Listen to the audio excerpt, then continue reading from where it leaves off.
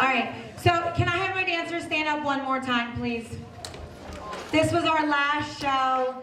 I am so proud of you. You guys have worked really, really hard. Um, they had to dedicate extra time to do this show. This is not something that we do in our regular classes.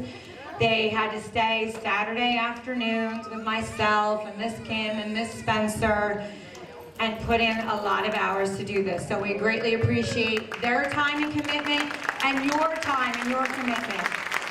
I also want to say a special thanks to Miss Kim and Miss Spencer, if you could come out.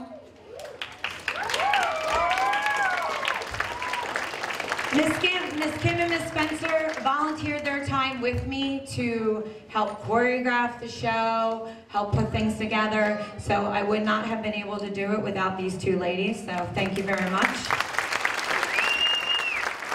All of our back crew, my husband, Miss Colleen, Teresa, everybody that's back there, Mr. Vinny. Vinny, come on out.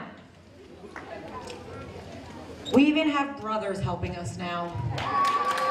Vinny.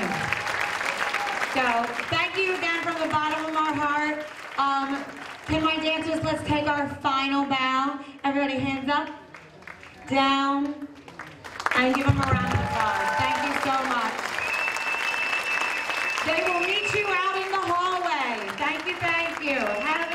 Mary